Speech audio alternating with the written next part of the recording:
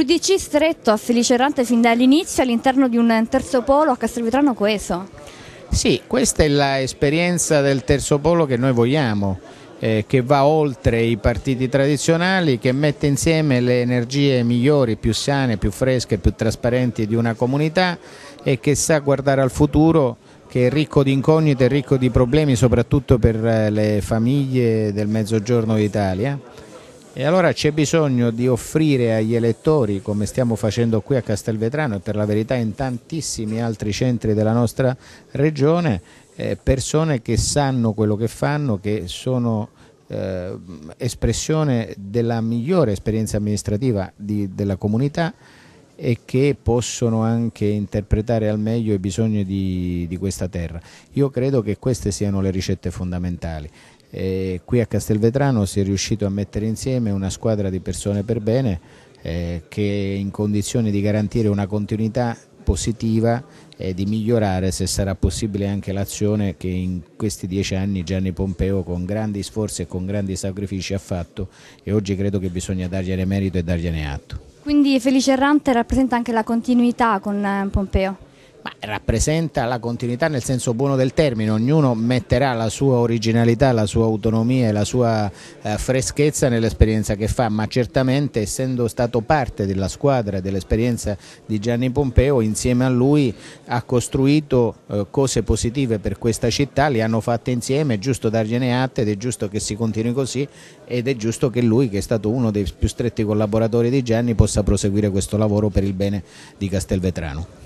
Felice Errante, avere accanto un personaggio come Dalia di certo eh, riempie di orgoglio. Sono onorato della presenza, della presenza, qui stasera del Presidente Dalia per la sua testimonianza e per la vicinanza che ha già dimostrato per questa città, per la coalizione del partito che, che rappresenta dignitosissimamente a livello regionale. Noi, come dicevo prima, siamo stati precursori del progetto politico del Terzo Polo, del Partito Unico, di quell'ambiente unico che ha voglia, che ha i mezzi, che ha gli strumenti e che, come dire, eh, da un punto di vista di solidità elettorale ha dimostrato di avere quei giusti consensi. L'UDC è uno dei pilastri di questo, di questo ambiente e noi siamo qui per portare avanti tutte quelle iniziative con la serietà, con l'impegno e con la concretezza che ci, che ci contraddistingue. Ringrazio ancora il Presidente Dalia per la testimonianza, perché queste testimonianze sono importanti e fondamentali e servono ancora di più a spingerci oltre la campagna elettorale e a pensare già all'8 maggio quando